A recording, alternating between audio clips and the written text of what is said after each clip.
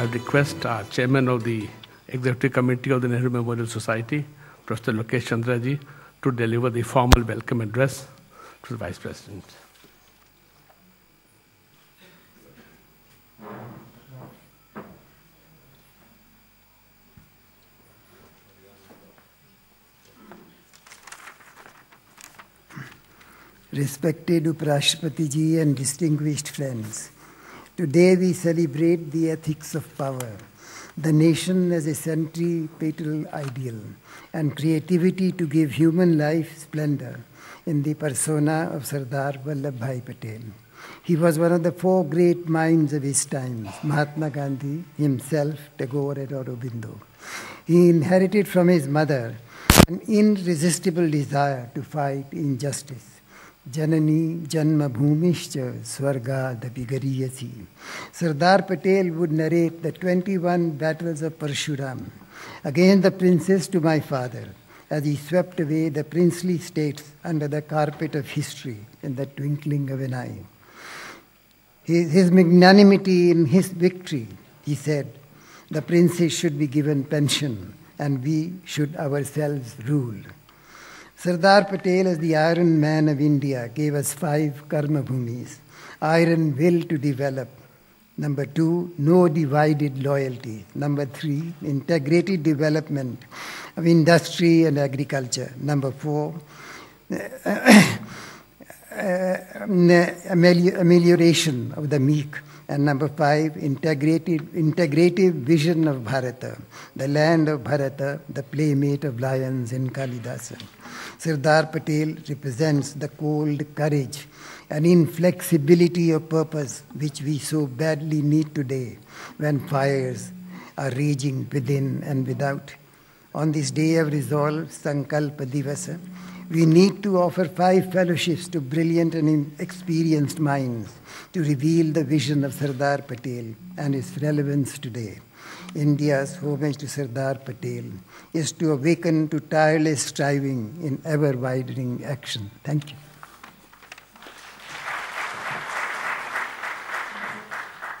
Thank you, Professor Chandra ji. Now my great pleasure to request Manniya Culture Minister Dr. Mahesh Ji Sharma to kindly deliver his address.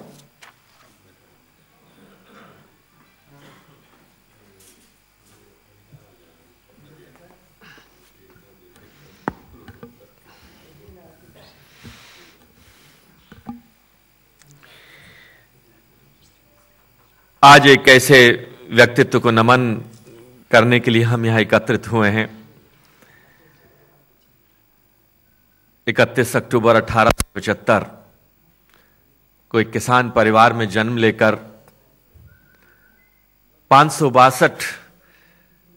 रियासतों में बटे बटे इस भारत को एक करने का सपना और उसको मूर्त रूप दिलाने का जो महान कार्य किया, आज हम 125 करोड़ भारतवासी कृतज्ञ रूप से अपने श्रद्धा सुमन अर्पित करते हैं उस युग पुरुष को, उस लौह पुरुष को, जिसकी इच्छा शक्ति ने पाँच रियासतदारों को एक भारत का रूप दिया।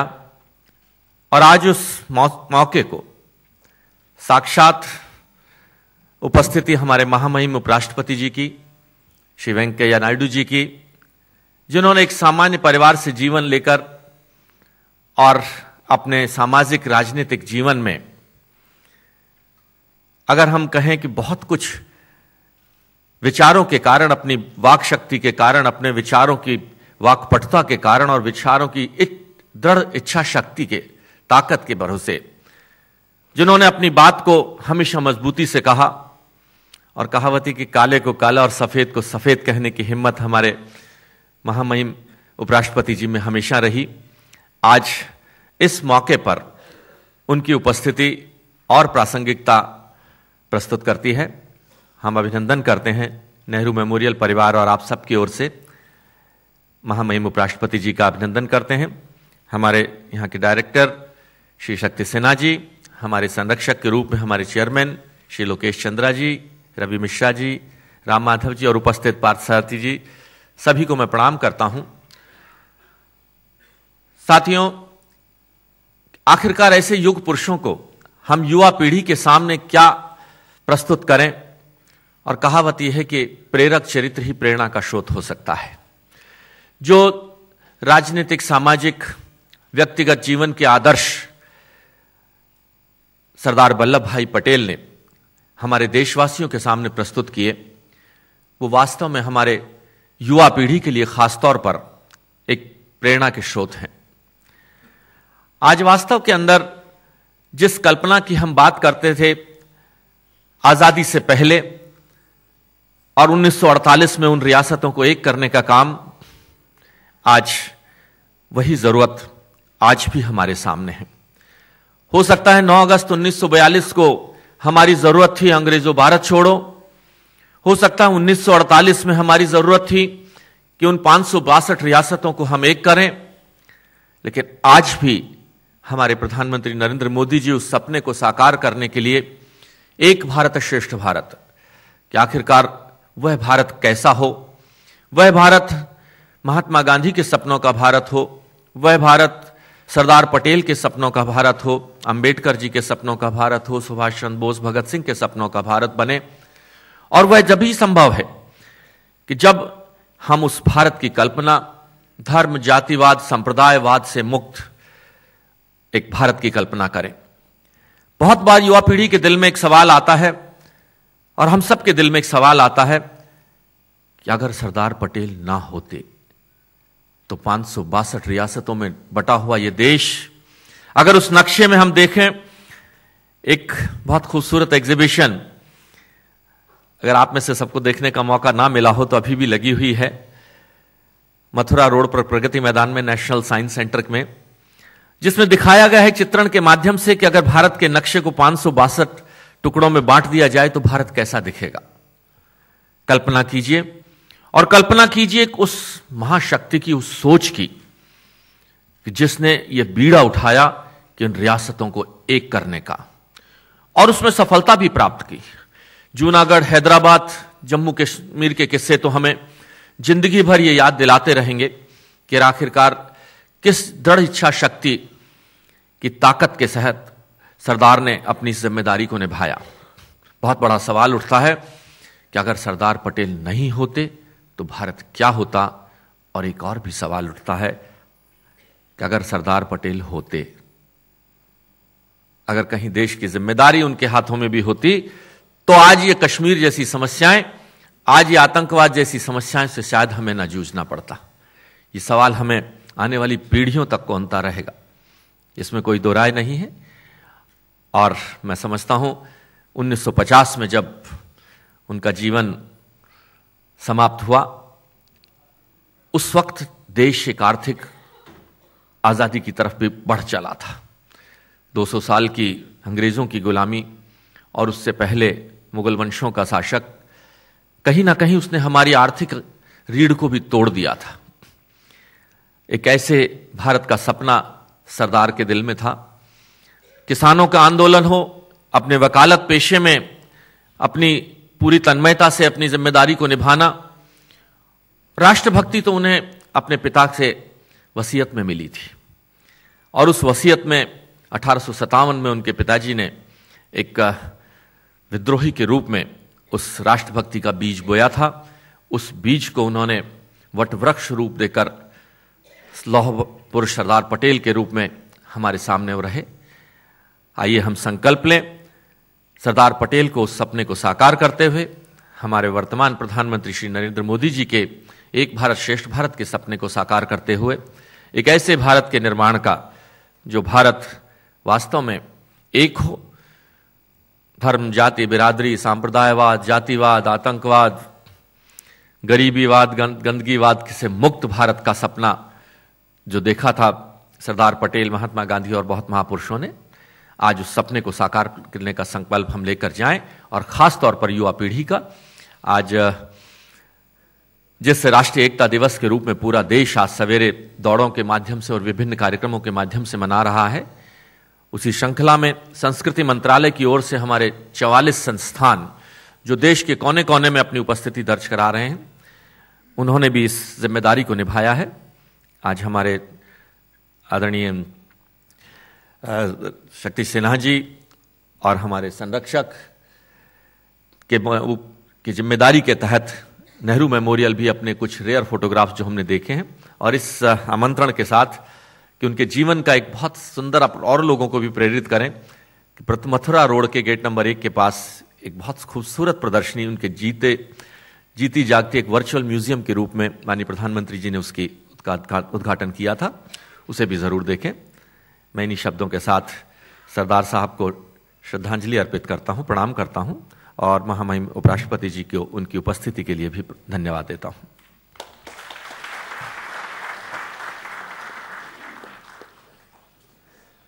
gives me great pleasure to request the Honorable Vice President, Sri Venkaya Naidu ji, to deliver his address.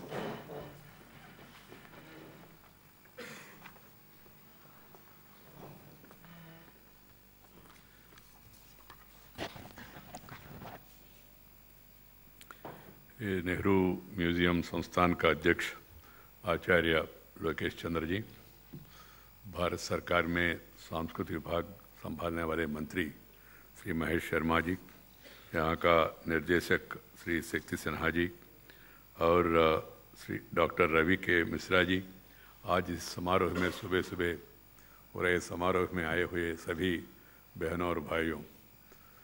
मुझे आज हरियाणा प्रदेश का स्वर्ण जयंती के अवसर पर हरियाणा जाना है।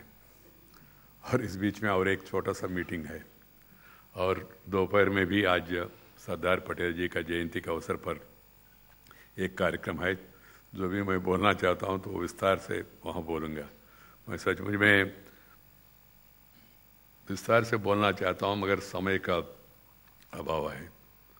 मैं जब से प्रजा जीवन में आया, राजनीतिक क्षेत्र में आया, तब से हमेशा मैंने सरदार पटेल वल्लभ भाई पटेल को एक मॉडल के रूप में, आइकान के रूप में हमेशा मैं उनको याद करते थे। I used to admire Sardar Vallabhbhai Patel and I used to take inspiration from his life from his teachings from his preachings today morning at six forty five और so we went to Sardar Patel statue in Parliament uh, Street to pay floral tributes. Someone told me, I have to verify it, that the first time that the President of India has come there to offer uh, floral tributes to Sardar Vallabhbhai Patel.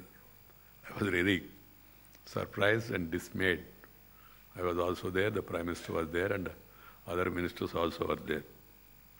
Friends, uh, today I'm happy that the Nehru Museum has organized a two-day conference on uh, making of Gandhian nationalist life and times of Sardar Vallabhbhai Patel.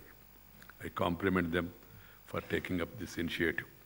Sardar Patel, the architect and unifier, unifier of modern India, was not only a close associate of Mahatma Gandhi, but also his ardent follower. Patel was a selfless leader who placed the country's interest above everything else and shaped India's destiny with single-minded devotion. I recall when I was the party president, I gave a slogan, drawing inspiration from Sardar Patel, nation first, party next, self last. But nowadays we are seeing the last one becomes first to some people, unfortunately. So we have to really take inspiration from Sardar Patel ji. He, he always placed the country's interest above everything else and shaped India's destiny with a single-minded devotion. He fashioned our country's political integration with the swiftness of a military commander and deftness of a visionary leader. Displaying the vision of a statesman, tact, diplomacy, and pragmatic approach, he prevented the balkanization of country and ensured merger of more than 560 princely states with the Union of India at a critical and most turbulent period in the history of the country. What makes this stupendous integration most remarkable is that it was achieved without any bloodshed. It indeed was a Herculean task to bring the rulers of different princely states on board, adopting different approaches as warranted by the situation. He gave friendly advice in some cases, persuaded the rulers to see the reason in others, and even used force, as in the case of uh, my Hyderabad state. What is remarkable is the fact that Sardar Patel achieved a unified India when the rulers of princely states were given the option of joining either India or Pakistan or remaining independent. In Britishers, while going also, they played this trick. After securing the accession of Junagadh, he ensured the liberation and integration of Hyderabad state with the rest of India. In a deft and swift action, code-named Operation Polo, the police action ended in just four days on September 18, 1948. Every year, September 17th is being celebrated as Hyderabad Liberation Day in Telangana, in parts of Maharashtra, in parts of Karnataka. In a truly masterful display of statesmanship, Sardar Patel ensured a smooth integration of the troubled domain by not allowing the situation to deteriorate into civil unrest. There was neither bloodshed nor any kind of rebellion as he went about the task of building a strong India with a missionary zeal. Undoubtedly, there is no parallel in modern history to what was achieved by him. Acknowledging the monumental contribution of Patel in nation building, Pandit Jawaharlal Nehru has said, history will call him the builder and the consolidator of new India. After he came under the influence of Mahatma Gandhi, he became his lieutenant and was chosen to lead Kheda Satyagraha. He switched over to Indian attire and later embarked Khadi. His biggest asset was his down-to-earth disposition. Many were prepared to follow me, but I could not make up my mind as to who should be my deputy commander, Mahatma Gandhi. Then I thought of Vallabhbhai Patel, said Gandhiji. Sardar Patel was not only an organizer par excellence, but also turned out to be a people's leader. He earned the title of Sardar after he spearheaded the peasants' no tax campaign at Bardoli in Gujarat. He also led relief and rehabilitation operations in Gujarat, particularly in Ahmedabad. He always believed that uh, agriculture need to be strengthened, need to be supported because agriculture is basic culture of our country. Agriculture and industry are like both eyes of a human being. These two things should be taken care. Unfortunately, after independence, enough care, I don't say no care was taken, care was definitely bestowed upon, but enough care or equal justice was not done to agriculture, whatever may be the reason, etc. A country of India's size of 130 crore population, where food security is an important aspect, you cannot ignore agriculture. You have, because people are leaving agriculture. People are looking into other professions. A doctor wants his son to be a doctor. A teacher wants a son to be a teacher. A businessman wants his son to be a businessman. An actor wants his son to be an actor, even the face is not that much good. We want to make him as an actor and then thrusting upon us, we are all seeing what is happening and all. But the farmer do not want his son to be a farmer. Why? Because agriculture is not remunerative. The market conditions, the seasonal conditions, the policies of different regimes are not favorable. So the government of India is now bestowing attention to agriculture and the Prime Minister assured that uh, by 2022 the aim of the government is to double the income of the agriculturists. It has to be done by center, by state, by all the agencies concerned to see that the agriculture is protected so that the economy also moves on. The following his death, he also his vision for a unified India saw the creation of All India Administrative Services, which he described as the steel frame. That was one of the great contributions he has made, the All India Administrative Service. His exertion to the uh, probationers to maintain utmost impartiality and incorruptibility of administration is as relevant today as it was then.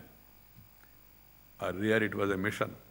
Now some people are turning it into a commission giving remission and committing many omissions. This has to be kept in mind. He forewarned at that time itself, Sardar Patel, even the people in this service.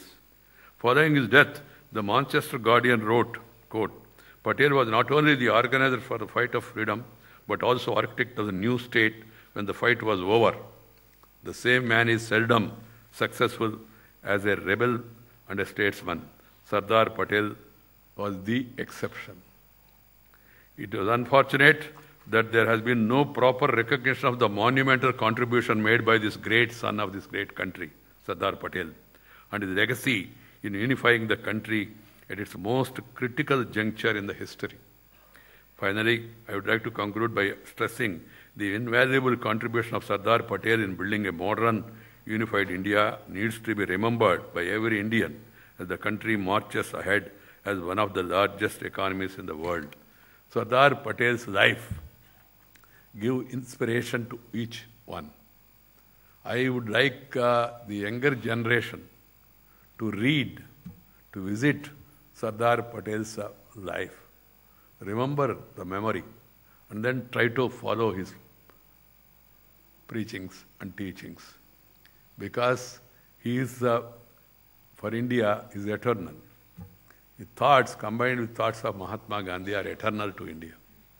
Because, as I told you earlier, he lived down to earth. He knows each and every problem of the country on his fingertips. And he has clarity. And he was committed to the unity. That's why today we're having a run for unity because his life is more relevant today as we are seeing that people are taking to other shortcut methods. The politics of the country has to be on the character, caliber, capacity, and conduct, not on others. But unfortunately, some people are taking to caste, some people are taking to community, some people are taking to cash. Three C's caste, community, and cash are trying to influence the people's mind, which is not good for democracy. Instead of that, character, caliber, capacity, and conduct, they should determine the people's choice. That will go a long way in really reflecting the aspiration of the people. So his life, where he was a barrister for excellence and then born in a very rich family, but uh, because of the influence of Mahatma Gandhi, he has changed his attire and then he, he, he started the first peasant movement also at that time against the Britishers. And he has shown so many examples. Even he sacrificed the supreme power because of the advice of Mahatma Gandhi. That's what history says. So he was a selfless leader, a model for all of us. So I would call upon the youth of the country to imbibe some of the qualities of that great man with an iron will, with a dedication, with a determination. And uh, as, I, as I told you, his life is a mission. And we should all try to emulate some of the examples set by that great soul. Thus, that will be a real tribute to the great son of this great country. I'm happy, particularly, as I told you, I would have been more happy to spend some more time with you all people, as I have to go to mm, Haryana I could not spend enough time with you, and uh, as I told you, I have three programs. I was initially skeptical whether I'll be able to come or not, because I had a heart procedure. Doctors was telling me, take care of the heart. I said, sir, my heart is with the people. It will be more comfortable. It, is, it, is, it will be more comfortable. I move on. I, I, move on. I'll be more comfortable. That's why I have chosen to. They were, all, they were even telling me also, don't go by helicopter, don't go to district center for some time and all. You can do it later. But my, my temperament is always to be with the people, live with the people, talk with the people, walk with the people, eat with the people, and spend time with the people. So keeping that in mind, I have agreed uh, these two programs also, even after this uh, seven days of this procedure. I'm very happy that I'm able to come here and participate in this uh, morning's program. Thank you very much. Namaskar. Jai Hind.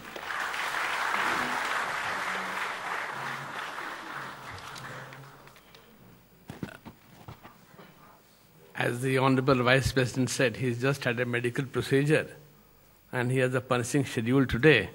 In fact, when he gave us the approval, I was very worried because he has to be in Hisar at 11 o'clock. But he has been here and given us, we are very grateful to you, sir. We're very grateful to our minister, the Honorable Culture Minister, Dr. Mahesh Sharma ji. He's our pillar of strength. He's the Mukhi of our family, and we look up to him. Professor Lokesh Chandra is chairman of Executive Council. He's also the chairman of the ICCR.